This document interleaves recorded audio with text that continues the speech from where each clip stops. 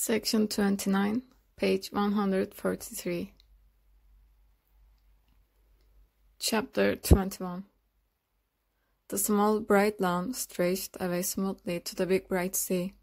The turf was hemmed with an edge of scarlet geranium and coleus, and cast iron vases painted in chocolate color, standing at intervals along the winding path that led to the sea looped their gardens of petunia and ivy geranium above the neatly raked gravel. Halfway between the edge of the cliff and the square wooden house, in parentheses, which was also chocolate colored, but with the tin roof of the veranda striped in yellow and brown to represent an awning. Two large targets had been placed against a background of shrubbery. On the other side of the lawn, Facing the targets was pitched a real tent, with benches and garden seats about it. A number of ladies in summer dresses and gentlemen in grey frock coats and tall hats stood on the lawn or sat upon the benches, and every now and then a slender girl in starched muslin would step from the tent, bow in hand, and speed her shot at one of the targets, while the spectators interrupted their talk to watch the result. Newland Archer, standing on the veranda of the house, looked curiously down upon the scene. On each side of the shiny painted steps was a large blue china flower pot on a bright yellow china stand. A spiky green plant filled each pot, and below the veranda ran a white border of blue hydrangeas edged with more red geraniums. Behind them, the French windows of the drawing rooms, through which he had passed, gave, gave glimpses between swaying lace curtains of glossy parquet floors, islanded with chintz posts, dwarfs armchairs, and velvet tables covered with trifles in silver.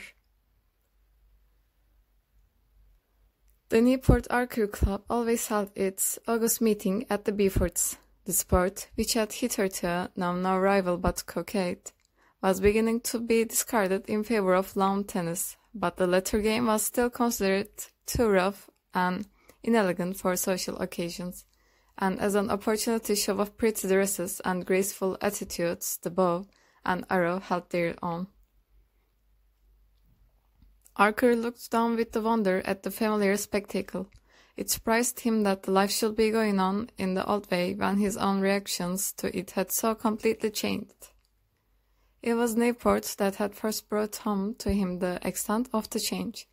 In New York, during the previous winter, after he and May had settled down in the new greenish-yellow house with the bow window and the Pompeian vestibule, he had dropped back with relief into the old routine of the office, and the renewal of this daily activity had served as a link with his former self. Then there had been the pleasurable excitement of choosing a showy grey stepper for May's brougham in parentheses, the Wellands had given the carriage, and the abiding occupation and interest of arranging his new library, which, in spite of family doubts and disapprovals, had been carried out as he dreamed, with a dark embossed paper, Eastlake bookcases and sincere armchairs and tables. At the Century he had found Vincent again, and at the Knickerbocker the fashionable young man of his own set, and while and what with the hours dedicated to love, and those given to dining out or entertaining friends at home, with an occasional evening at the opera or the play. The life he was living had still seemed a fairly real and inevitable sort of business. But Newport represented the escape from duty into an atmosphere of unmitigated holiday making. Archer had tried to persuade May to spend the summer on a remote island off the coast of Maine, in parentheses, called, appropriately enough, Mount Desert. Very few hardy Bostonians and Philadelphians were camping in native cottages, and whence came reports of enchanting scenery and a wild, almost trapper-like existence amid woods and water. But the Wellands always went to Newport, where they owned one of the square boxes on the cliffs, and their son-in-law could adduce no good reason why he and May should not join them there. As Mrs. Welland rather tartly pointed out, It was hardly worthwhile for May to have worn herself out trying on summer clothes in Paris if she was not to be allowed to wear them, and this argument was of a kind to which Archer had as yet found no answer. May herself couldn't understand his obscure reluctance to fall in with so reasonable and pleasant a way of spending the summer. She reminded him that he had always liked Newport in his bachelor days, and as this was indisputable, he could only profess that he was sure he was going to like it better than ever now that they were to be there together. But as he stood on the Beaufort veranda and looked out on the brightly peopled lawn, it came home to him with a shiver that he wasn't going to like it at all. It wasn't May's fault, poor dear, if, now and then, during their travels, they had fallen slightly out of step. Harmony had been restored by their return to the conditions she was used to. He had always foreseen that she would disappoint him, and he had been right. He had married, in parentheses, as most young men did, because he had met a perfectly charming girl at the moment when a series of rather aimless sentimental adventures were ending in premature disgust, and she had rep- represented pace, stability, comradeship, and the steadying sense of unescapable duty. He couldn't say that he had been mistaken in his choice, for she had fulfilled all that he had expected. It was undoubtedly gratifying to be the husband of one of the handsomest and most popular young married women in New York, especially when she was also one of the sweetest tempered and most reasonable of wives. Anarcher had never been insensible to such advantages. As for the momentary madness which had fallen upon him on the eve of his marriage, he had trained himself to regard it as the last of his discarded experiments. The idea that he could ever, in his senses, have dreamed of marrying the Countess Olenska had become almost unthinkable, and she remained in his memory simple as the most plaintive and poignant of the line of gods. But all these abstractions and eliminations made of his mind a rather empty and echoing place, and he supposed that was one of the reasons why the busy, animated people on the Beaufort lawn shocked him as if they had been children playing in a graveyard. He heard a murmur of skirts beside him, and the Marchioness Manson fluttered out the drawing room window.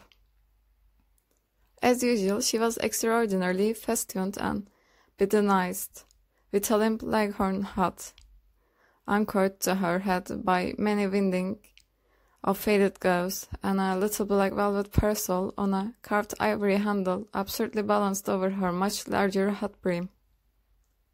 My dear Newland, I had no idea that you and May had arrived.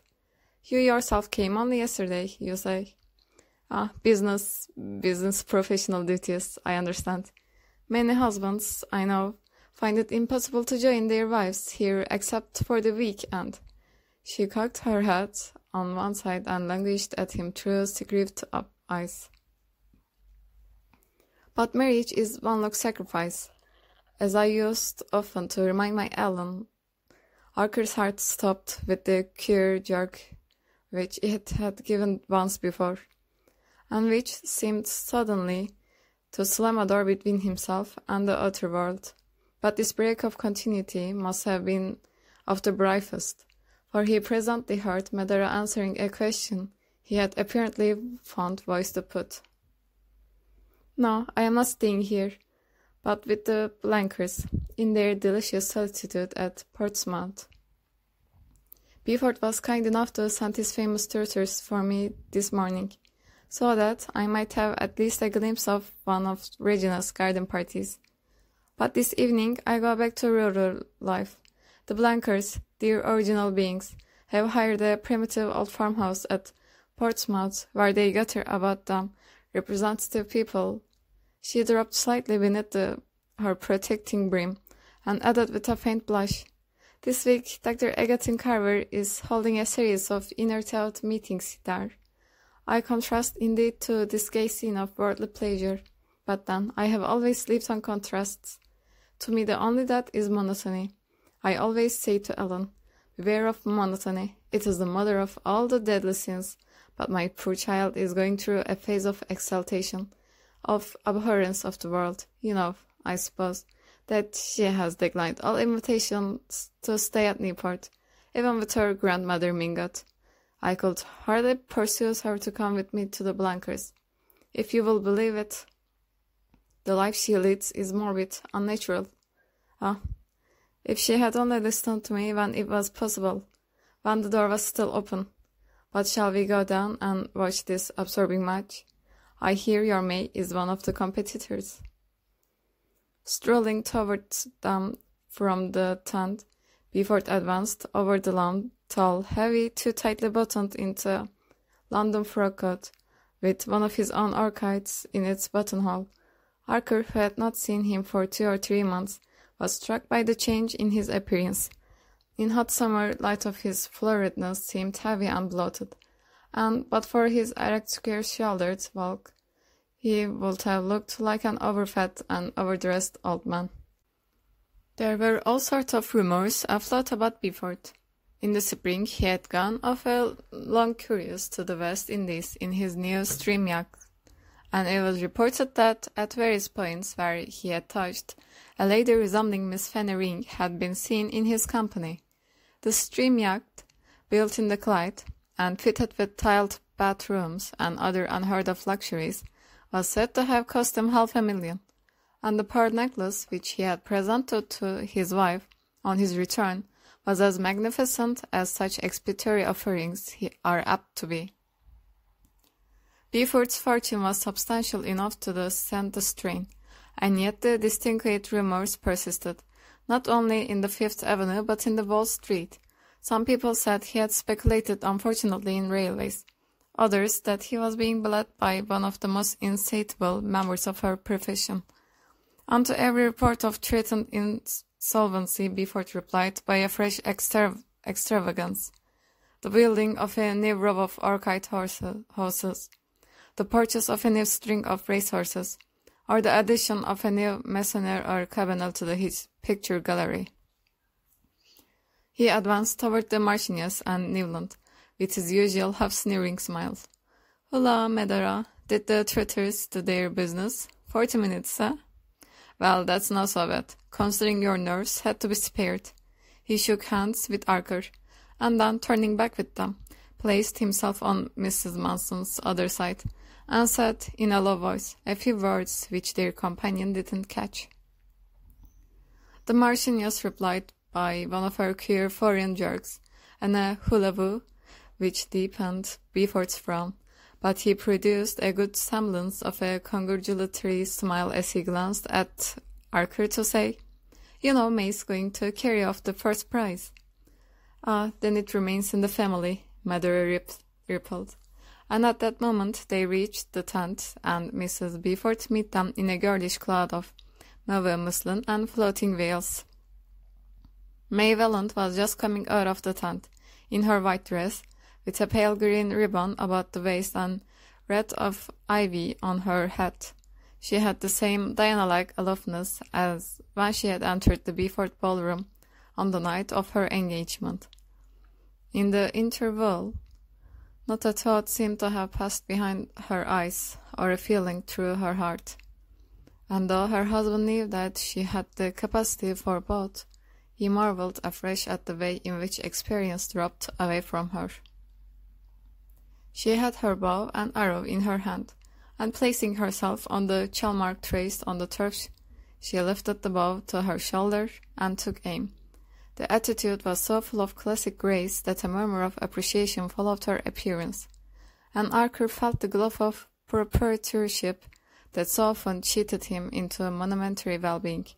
Her rivals, Mrs. Reggie Chivers, the Merry girls, and divers Rossi Thorleys, Dagonets and Mingotts stood behind her in a lovely, anxious group. Round hats and golden band above the skirts, and pale muslins and flower-red hats mingled in a tender rainbow. All were young and pretty, and waited in the summer bloom, but not one had the nymph-like ease of his wife, when, with tense muscles and happy frown, she bent her soul upon some feat of strength. God, Archer heard Lawrence Lefferts say, Not one of the lot holds the bow as she does. And Beaufort retorted, Yes, but that's the only kind of target she will ever hit. End of the section. Page 148.